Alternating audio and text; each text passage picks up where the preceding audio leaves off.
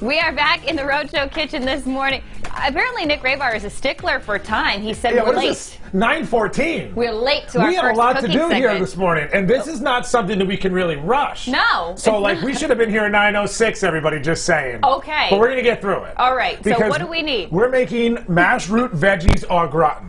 Ooh, All right, so it's like three things in one. Okay. All right, because whether Potatoes you want to believe it or not, Thanksgiving is right around the corner. I know. We were just And- talking about that. and it's it's weird because I only have like one more, well, maybe two more Wednesdays to share a recipe or two. That's true. But now is when you need to start thinking. So, like, Yeah, plan here's it my out. thought process for today. Root vegetables are Love very it. Mm-hmm. common on the table.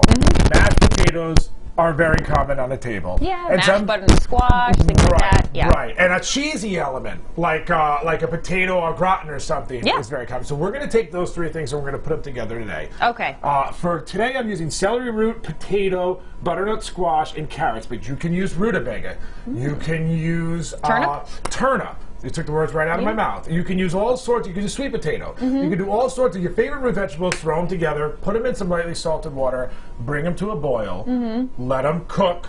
And then strain them well. Get rid of Right. all of the liquid because Yes. sometimes some root vegetables have a like turnip, for example, has a lot of liquid in it. Really? So you don't want it to be like thin. Yeah. So, and you want to add a little potato to whatever you do because you want that starch. You're going to Okay. mash them down, put them in a casserole dish, pop a little bit of cheese on top. For today, I'm using Gruyere and Fontina. Those are two cheeses I commonly use. They melt well. Good melt. And they have super cheese, like super strength flavor. String ability. Uh, do they have string ability? Stringability. Well, I- you know, and that's so funny because what do I always say? Uh, I, I don't know. Maybe, I don't think it's stringability, but it'll come back to me. Like the pull? The pull, Yeah. the cheese pull, and it will have that. All But we'll also have that nice brown, if we ever get to it, everybody. I mean, hello, Well- running a few minutes by, but that's got to Then wrap it up, Nick. Wrap it up. We got to get cooking. Back to whoever. All of a sudden, he's a human stopwatch timing the show.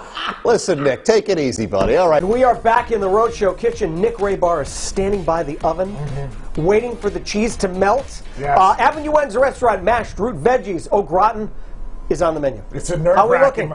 I think we're going to get there. Okay. This was a nail biter. It was. Only because Down to the wire. These, two- these two steps. Excuse me, I'm very distracted. Yeah, yeah, yeah. These two steps take time. I think you have good. to. It, well, it does look good. It does look good, and I'm very impressed. Do you want to review what you did? Yes, you buy I yourself do. a little more time? Yes, I do, because this needs like just 45 more seconds. Okay.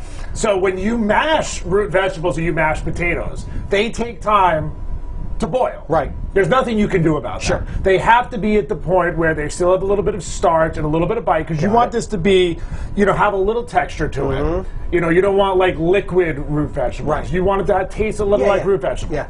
And then, uh, but you know, the starch has to release for the potatoes. It all has to work well in order to mash correctly. Then. I took butter and cream, Mm-hmm. very standard stuff. There's no clove, there's no nutmeg, there's none of that stuff. Got it. I'm all for that stuff. Yeah, yeah. But I'm keeping it out. Uh, hold on, I'm gonna peek real quick. Will, all right, we're in good shape. Okay, I can come back over here.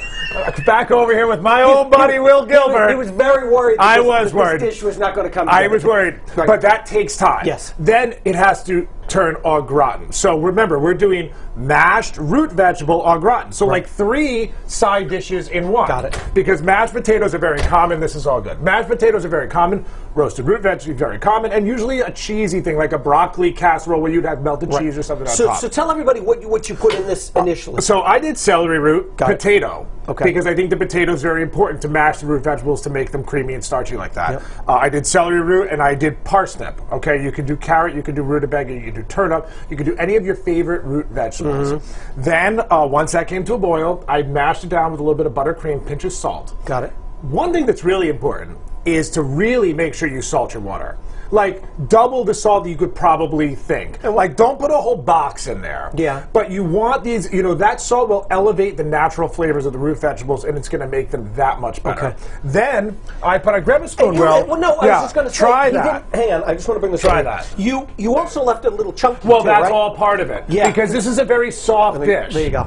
This Yeah. is a very soft dish. I ate it all. No. No, he sort of did. Yeah. Now get that disaster out of here, Okay. and let's put this right, I'm move- beauty on, I'm gonna move front, out of the way. front and center. Got it. Front and center. Okay, because there it is. come on. And somehow this worked out. Whoa. Somehow this worked out. So now No tricks today, as you know, because you were here during my stress when I was mashing the root vegetables. There was no tricks. These ingredients came in here raw, and this came out in well, this was a record today because 9:14 start time. I don't approve of that. He was a little shaky. I didn't get that memo. No one told me we were doing that. So those, you know, those critical minutes, you know, to make this were very stressful for me, Will. But I feel better now. Yes, and uh, so I put Gruyere and Fontina.